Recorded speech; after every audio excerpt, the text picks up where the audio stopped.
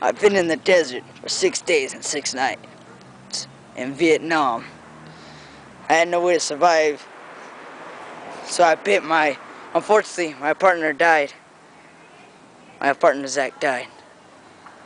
I had to bite his arms off because I was hungry. Pretty soon, I didn't know how no way to survive. All I had was my PSP and nothing to do. But soon I ran out of batteries and I got angry. And soon I ran out of cigarettes also. Keep- ah. and I also ran out of Doritos.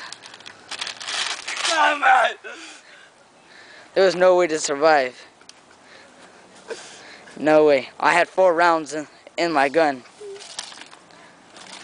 Nothing to do. So I shot him to the ground.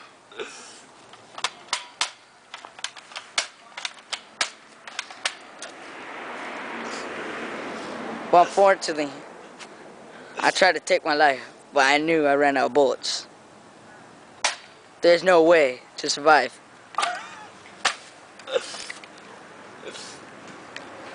No way.